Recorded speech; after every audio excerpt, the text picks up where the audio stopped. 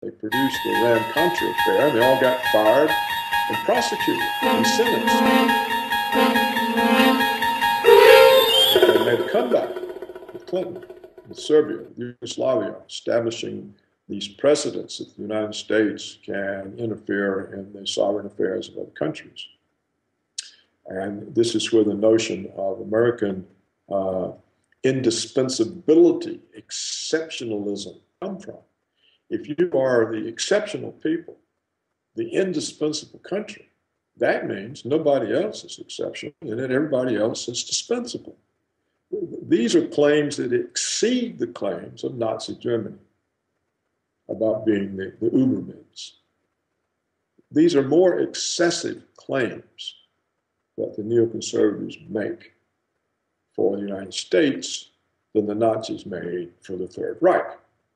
Uh, but Dr. Roberts, let me let me then say, if we allow the, you know, we, we go on with the analysis relative to Russia, but the United States has had a history of separating China from Russia, uh, uh, starting with, let's say, the Nixon, the Nixon years. And so we've now built up China deliberately by allowing them to manufacture our products and we borrow their money.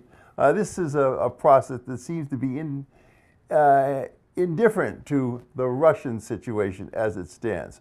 Why would we have allowed China to be, become a power when if we never traded with them in the first place, they'd probably still be a backward country at the present time. So that we ran a strategy of building up a possible counterweight to ourselves deliberately in that case. Russia, we didn't do that. We didn't have that economic exchange with Russia that we had with China. Now we're forcing China and Russia back together which is logical under the circumstances.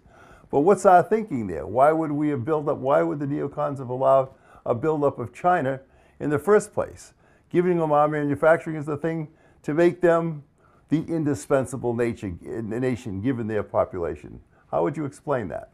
The buildup of China resulted from Wall Street pressures on American corporations and also from pressures of big box retailers like Walmart. Essentially, what happened, and, and, this was not possible until the Soviet collapse. But when the Soviet Union